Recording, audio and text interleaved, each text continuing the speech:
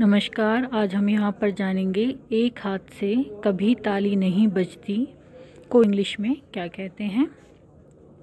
एक हाथ से कभी ताली नहीं बजती का इंग्लिश में मीनिंग क्या होता है? इसको इंग्लिश में कहते हैं it takes two to make a quarrel it takes two to make a quarrel धन्यवाद।